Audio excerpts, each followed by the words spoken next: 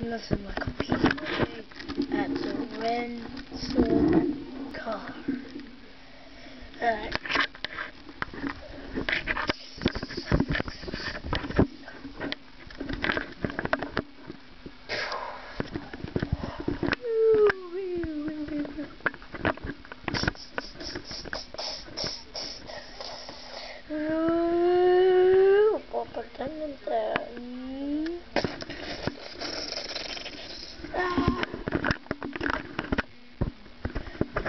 Thanks for watching the video. Please rate us on part one and two.